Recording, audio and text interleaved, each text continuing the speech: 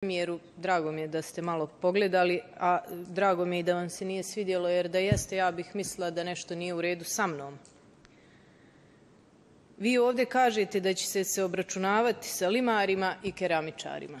Ja vas pozivam da se obračunavate sa najvećim porezkim dužnicima.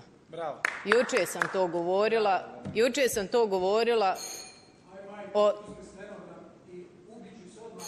Obračunat ćemo se, tako ste rekli, uzet ćemo ste... Molim vas da poslanik pa završi pa men ušlo, repliku. Men zaparalo uši, men zaparalo uši, obračunat ćemo se. Molim vas, nemojte rekli, se pa nemojte vi raspravljati. o mom nivou, vi rekli. Vi rekli. Pa nije mi slučajno ušlo tu, U- uzet ću stenogram i donijet ću vam. Namjerno. I ovo oko poskupljenja. Cijene električne energije, gospodinu Mazalci. Vidite, mijenja se retorika. Kakav je moj utisak vezano za to? Vi pustite, vi kažete nećemo mi sad povećavati.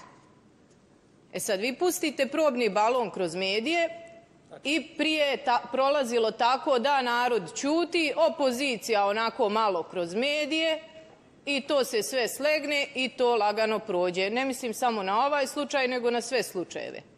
E sad, kad ima malo kad ima malo vatre, kad ima malo bunta, onda se mijenja retorika.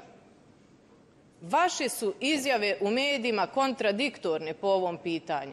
Ja ne kažem da vi odustajete zbog nas, ali su vam izjave kontradiktorne. Pa dobro, vi kažete da nisu, ja čitam i vidim da jesu. Sad vi mene ubjeđujete u svoje. Ne mogu ja, ne mogu ja svoje, pa ne možete vi meni promijeniti mišljenje, nikako. Vi to da možete, ja bi bila s ove strane, logično, ali ne možete. Znači, pustite balon, molim vas. pustite balon i onda kad narod ćuti, vi to sve... E sad narod ne ćuti. I to je problem. Vama. Što nas ne pustite na legitiman vid političke borbe? Nama to Ustav omogućio. Što vam to smeta? Ustav omogućio protest prot izražavanja e, zbog rada nezadovoljstva vlast, e, radom nez- e, nezadovoljstvo radom organa vlasti. E sad da vam kažem za te sporazume. Koliko ja znam, sporazumi na nivou BiH čekaju u parlamentu, ne u savjetu ministara. Ko je blokirao parlament? Ko je, ko je blokirao parlament?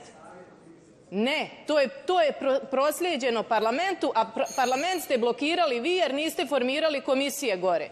I to je istina i obmanjujete javnost. To je jedina provjereno, provjereno, evo moje stranačke kolege mi javile provjereno.